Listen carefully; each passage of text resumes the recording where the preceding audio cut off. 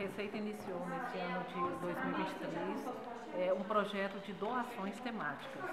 A primeiro, o primeiro lote de doações é, está sendo realizado agora em março, é, em homenagem ao Dia Internacional da Mulher.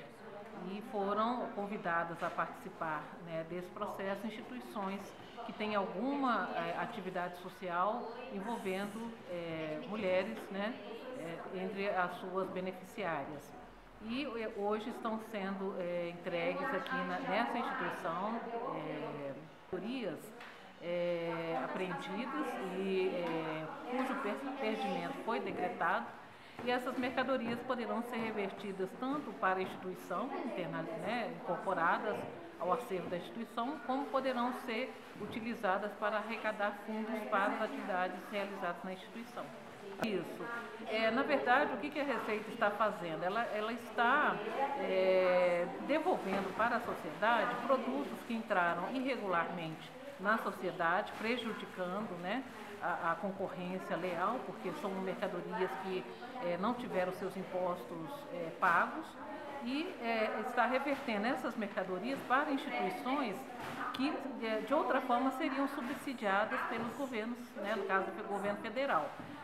Com a, a, doação é uma forma de é, levar às instituições é, mercadorias que poderão é, é, ser revertidas em fundos né, para as atividades envolvidas nas mesmas. Isso, as mercadorias são mercadorias que podem ser utilizadas, são mercadorias que estão em, ótimas em ótimo é, estado de conservação, têm qualidade e poderão então ser utilizados pela instituição com segurança e com responsabilidade. Olha, nesse lote de, de mercadorias é, que estão sendo destinadas aqui para essa instituição, isso, é, nós temos celulares, temos é, é, garrafas térmicas, roupas, é, canecas térmicas, é, artigos assim de, de uso pessoal para mulheres, né, para, caso, meninas,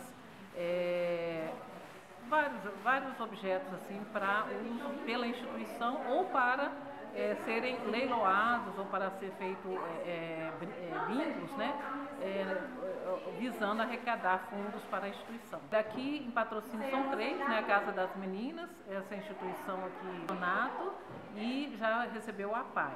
No interior, aqui nas cidades próximas, terão, teremos o recebimento de mais três APAIs e uma sociedade São Vicente Paulo, né, que é, abrange a, a cidade de Coromandel, Serra do Salitre, Iraí de Minas e é, Cruzeiro de Fortaleza.